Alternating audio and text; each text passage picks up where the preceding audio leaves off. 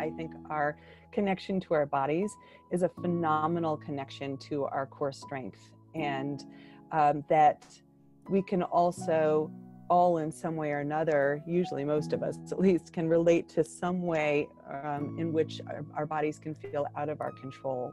We have tension patterns or illness patterns, and um, sometimes we can feel betrayed by our own bodies pendicular movement, if you look at that photo of the lion in the slide, this is something that animals do really naturally, especially when they're waking up from a nap. And it's kind of like a whole body yawn. And usually there's a way in which there's kind of a stretch in one part and a constriction in another part, right? And it's a very natural movement. And if you start to follow this for yourself, allowing yourself to kind of curl into the parts of the body that want to curl and reach and stretch through the parts that want to reach. That what we are facilitating is a really deep somatic reset. And it's not so much uh, I want to move in this way from my head, but it's driven by the level of sensation. How does your body want to move? As if you were your favorite animal just waking up from a nap.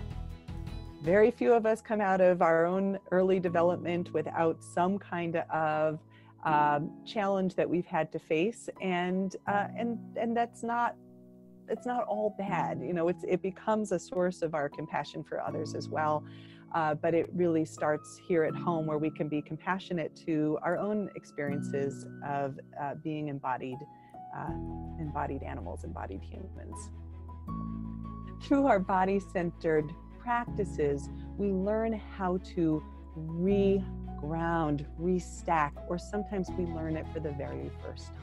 That when we're getting flooded by internal somatic experience, we can use our exteroceptive awareness by engaging our senses, looking around the room, tasting something, touching something, looking at the color of something to help us feel grounded and present here and now so that we can recognize that the internal sensations are related to something old they're not currently responding to a threat. Um, i know that in sharing this that i'm really not alone in the desire to come toward healing of body and mind and soul if you want to put that word in there as well um, because of my own experience so many of us in the field uh, whether you're coming to listen to this because you're a therapist or whether you're coming to listen to this because you yourself are looking for tools uh, for your own healing.